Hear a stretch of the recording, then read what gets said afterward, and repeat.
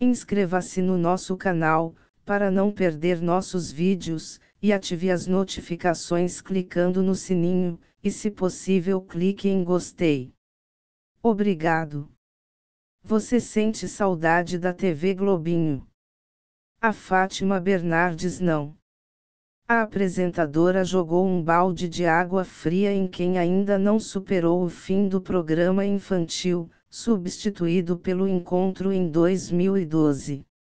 Em entrevista à premiação Press Award, onde foi homenageada, nos Estados Unidos, ela explicou como conseguiu convencer a Globo de tirar os desenhos do armorro de pena do Bob Esponja. Fico com uma dó, mas a aposentadoria chega para todo mundo, né? Não, brincou Fátima, que em seguida falou que via um buraco na programação matinal da Globo com apenas um programa infantil e todos os outros adultos, por isso pediu à Globo para ocupar o lugar da TV Globinho.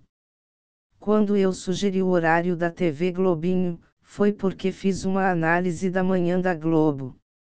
A gente começava com um telejornal local, para adulto, um telejornal de rede, Bom Dia Brasil, para adulto, o programa da Ana Maria, o Mais Você, para adulto, um programa de saúde, bem-estar, para adulto. Onde você acha que estavam as crianças até essa hora?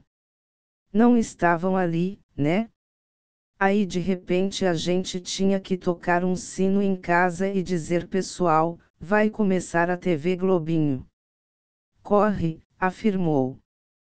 Segundo Fátima, a TV por assinatura e os aplicativos para smartphones e tablets contribuíram para o fim dos desenhos na TV aberta, a programação infantil, com o grande número de TV a cabo e outros mecanismos, gadgets, foi ficando muito enfraquecida.